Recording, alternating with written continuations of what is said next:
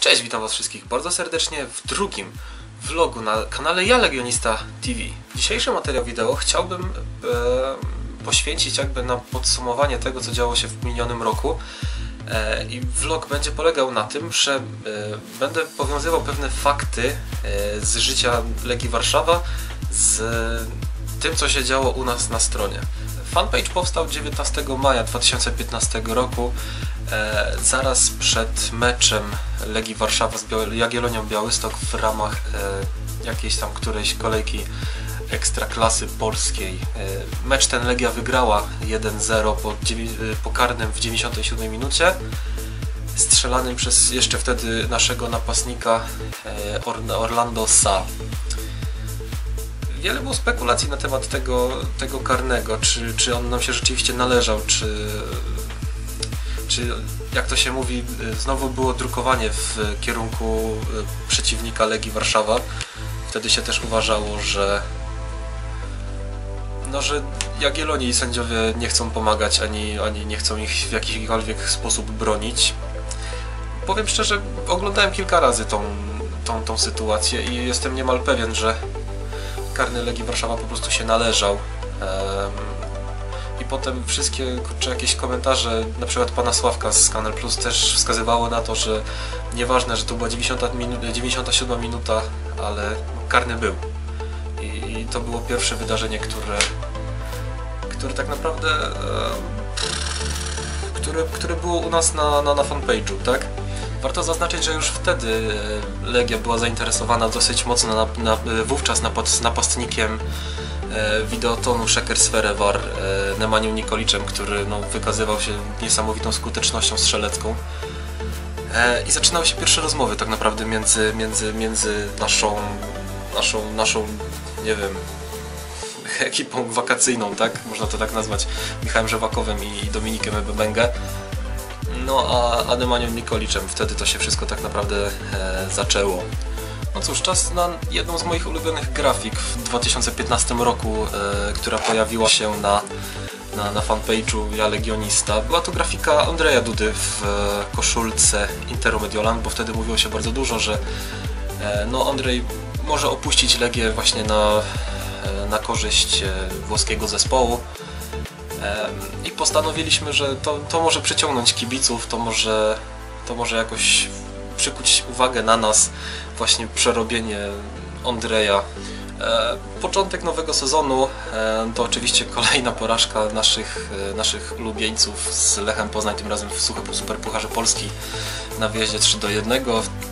Wtedy kibice, pamiętam, wyszli, wyszli ze stadionu. Lech tam chyba śpiewał, że iście do domu, my nie powiemy nikomu, czy coś takiego, ale no to uważam, że to był dobry ruch ze strony kibiców, tym bardziej, że no chcieli pokazać swoje niezadowolenie z gry, z tego jak, jak w ogóle Legia się poruszała, z wyniku, no z wszystkiego. No. Następnie rozlosowano pary drugiej rundy eliminacji Ligi Europy w sezonie 15-16 i w drugiej rundzie Legia wylosowała e, rumuńskie Botoszani, które ograła. Po prostu no, o, tym, o tym meczu trzeba zapomnieć, bo nie chciało iść na początku, a i tak wygrywaliśmy i prasa miała jakąś dziwną, dziwną na nas nagonkę, że e, wyglądało to w ten sposób, że Jagiellonia swój mecz chyba remisowała, Śląsk też. No Lech tam wygrał, no z, chyba z Sarajewem grali, no wow, super, pokonali mistrza z nie wiadomo kąt. Tak wiem, Bośnia-Hercegowina. W każdym bądź razie, no Legia swoje mecze wygrywała, a prasa pisała o nas, że no Legia nie wyszła z kryzysu. W takim razie przepraszam, skoro Legia nie wyszła z kryzysu, a wygrywa swoje mecze, to co trzeba było napisać o Jagiellonii, która zremisowała i o Śląsku, który osiągnął taki sam wynik? Hmm, właśnie Liga. Em, szybki wpierdziel zebrały e, Śląsk i Podbeskidzie, z czego no, trzeba sobie powiedzieć, że w meczu z Podbeskidziem e, padła najładniejsza bramka e, decyzją tutaj nas, administratorów e, Ja Legionista w całym 2015 roku strzelona przez Michała Żyrena bodajże 4 do 0. E, Warto dodać, że grafika po meczu z Podbeskidziem, jaką dodaliśmy na, na Facebooka, osiągnęła jeden z największych, e, jeżeli nie największy zasięg wyświetleń postów w całym naszym 2015 roku. W całej naszej działalności. Tutaj się powinno, powinien się właśnie screen pokazać. W trzeciej rundzie eliminacji Ligi Europy Legia trafiła na albańską, na, na albańską drużynę FK Kukeshi, gdzie no, wszyscy wiemy jak to się skończyło. Pojechaliśmy do Albanii i no, mecz wygraliśmy walkowerem, bo Andrzej Duda został trafiony w głowę kamieniem przez, jakąś, przez jakiegoś dzikusa. Dałem ci kamień z wielkim love, no Drugi mecz w Warszawie Legia wygrała bez problemu. 23 sierpnia 2015 roku e, nasza strona facebookowa, facebookowa osiągnęła no, całkiem fajną granicę. Nie myśleliśmy, że kiedykolwiek tyle osiągniemy, a już wszystko ponad to uważaliśmy, że to będzie jakiś kosmos dla nas, ale osiągnęliśmy 500 lajków.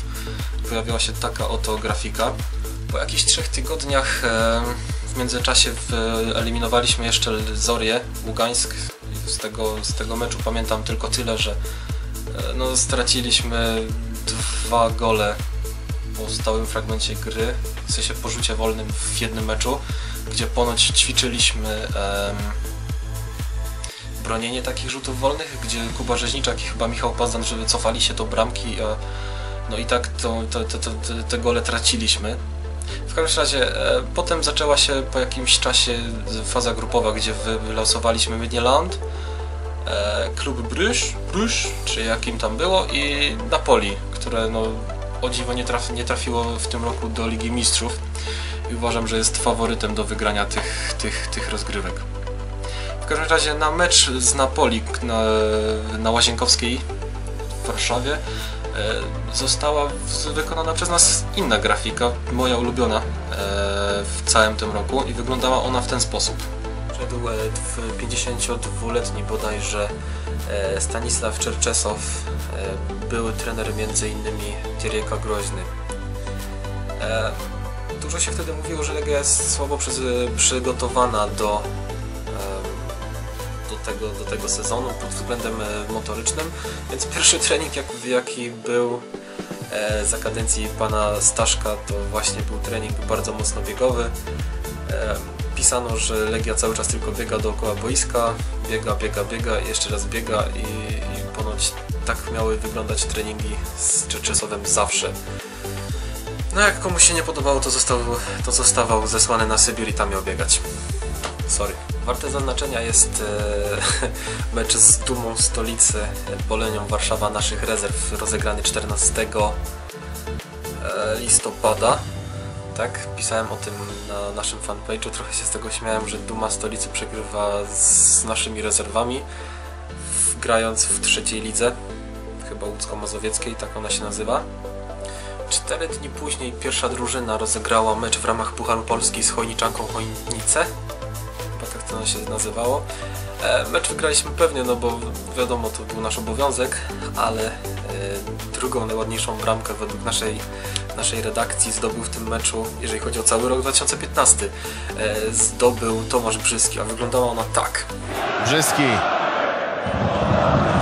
Brzeski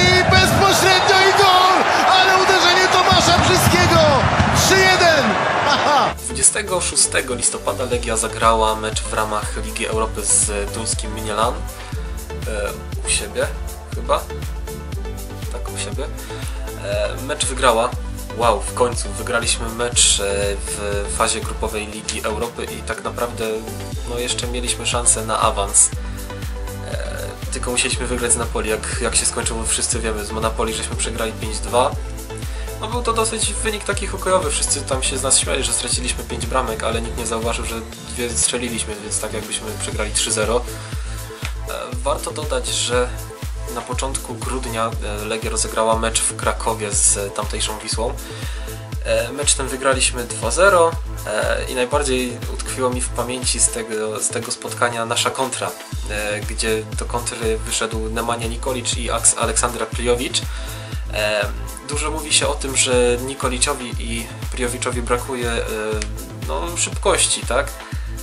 A obrońcy z, z Wisły Kraków nie potrafili go w ogóle dogonić. Ani jednego, ani drugiego. No i jak się skończyło, wszyscy wiemy. Wystawienie do pustaka e, Aleksandarowi, no i Aleks ładuje piłkę do siatki i 2-0 i wygrywamy.